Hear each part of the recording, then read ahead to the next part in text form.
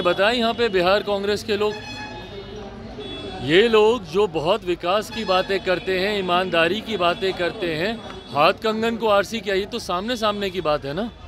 इसको तो झुटलाया नहीं जा सकता।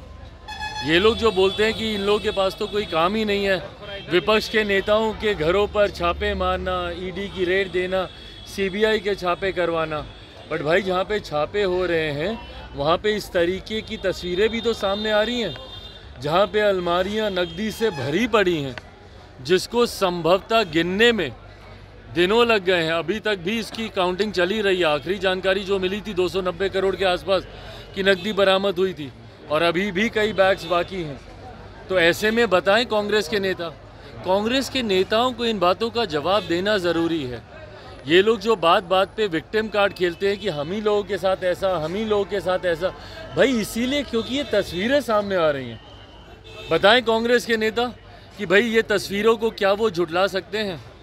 जवाब कांग्रेस के नेताओं को देना होगा और बिहार कांग्रेस को इस बात का भी जवाब देना होगा कि जब नए मुख्यमंत्री जो इनके तेलंगाना के बने हैं और वो बिहारियों के डीएनए पे सवाल उठाते हैं, इन तमाम बातों का जवाब देना बिहार कांग्रेस।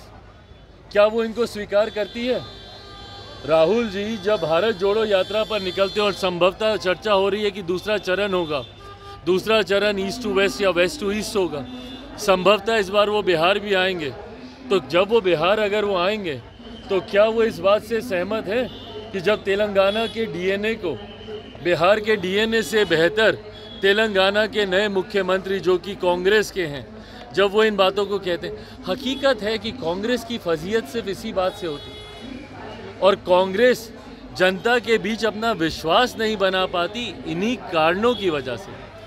जहाँ इनके लोग भूल जाते हैं कि कांग्रेस, अगर या तो आप मान लीजिए भैया कि एक क्षेत्रीय पार्टी ही बनकर रह गई है कांग्रेस, अगर सिर्फ़ तेलंगाना में ही कांग्रेस को राजनीति करनी है तो ये बयान बिल्कुल सही है भैया। फिर आप बाकी राज्यों के डीएनए को आप गाली दीजिए, एक क्षेत्रीय दल आप बन के रह जाइए। पर अगर आप एक राष्ट्रीय पार्टी हैं और राष्ट्रीय पार्टी अगर आप अपने आप को बनाए रखना चाहते हैं तो इस तरीके से क्षेत्रवाद नहीं चलेगा। अब एक राज्य को आप गाली देंगे और दूसरे राज्य में राजनीति करेंगे।